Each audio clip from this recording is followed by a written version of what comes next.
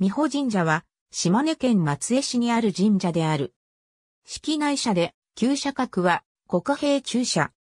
琴城主神経恵比寿社3004社の総本社である。恵比寿神としての商売繁盛の神徳のほか、漁業、海運の神、他の虫よけの神として信仰を集める。また、鳴り物の神様として楽器の奉納も多い。腕に大国主神のこのこと白主神、左殿に大国主神の記載の三骨姫命を祀る。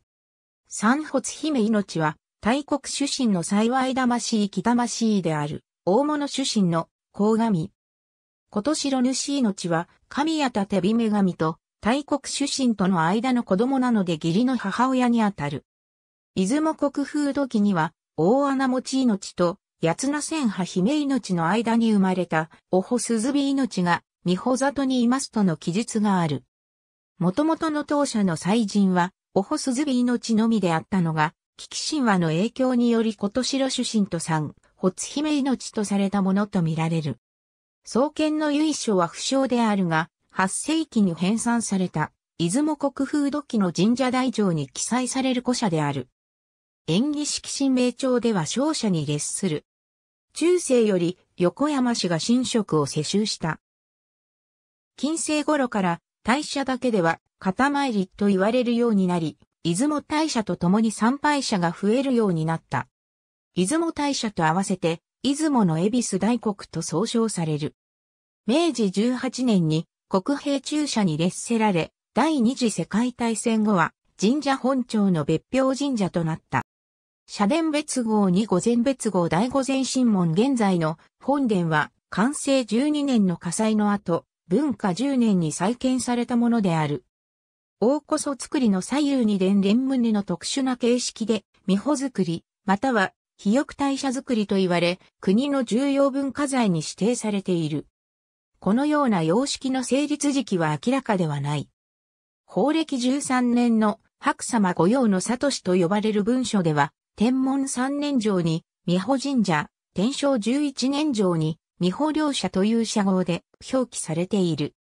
また、明治19年の国平中社美保神社明細図書によれば、元気年間の戦災によって失われるまでは、本殿は一棟であったが、その後、文禄年間までの間に、現在のように一つの基礎に二棟の本殿を持つ形式で再建されたという。この二つの文書から、天文三年時点では一棟作りの神社であり、天正十一年までには二棟作りの両者と呼ばれるような構成になっていたと推定される。また、文禄五年五月吉日と記された、吉川博家が朝鮮出兵での立願のため造営をした時の胸札にも、笹具根流美穂の石両者御殿とあり、当時すでに二社殿が並立していたことを傍証している。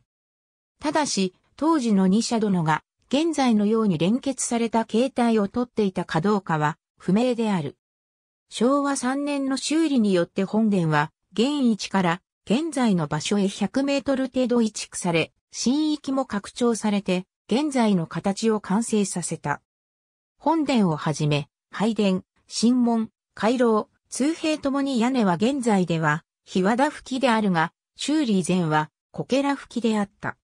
本殿二棟の間に抹社、大きさ汽車があり、三社五神を祀る。県指定有形民族文化財青柴垣神事、諸手船神事は、国譲り神話にちなむものである。12月の諸手船神事は、大国主神が国譲りの是非を相談するため息子のこと大主神に死者を送ったという故事を再現。4月の青柴垣神事は国譲りを決めたこと大主神が船を青柴垣に変えてその中に身を隠すが、再び神として蘇る様子を再現している。一年間系肉鶏卵を避け、毎日会で身を清めた二人の東野が前日から断食し、青柴垣を飾った二隻の船に乗り、校内を一周後、美保神社に参拝、奉幣する。松江駅2番乗り場から、市畑バス、美保関ターミナル行きに乗車。美保関ターミナル終点より、美保関コミュニティバス美保関行きに乗り換えて、美保関終点下車。美保神社、入口バス停から徒歩約1分。初詣シーズンやゴールデンウィーク、夏から初冬の土日曜、祝日と12月3日には、日の丸バスにより、米子空港、境港駅との直行バス、エビスライナーが運行される。公民館の横に駐車場と公衆便所があり、神社までは徒歩1分。ありがとうございます。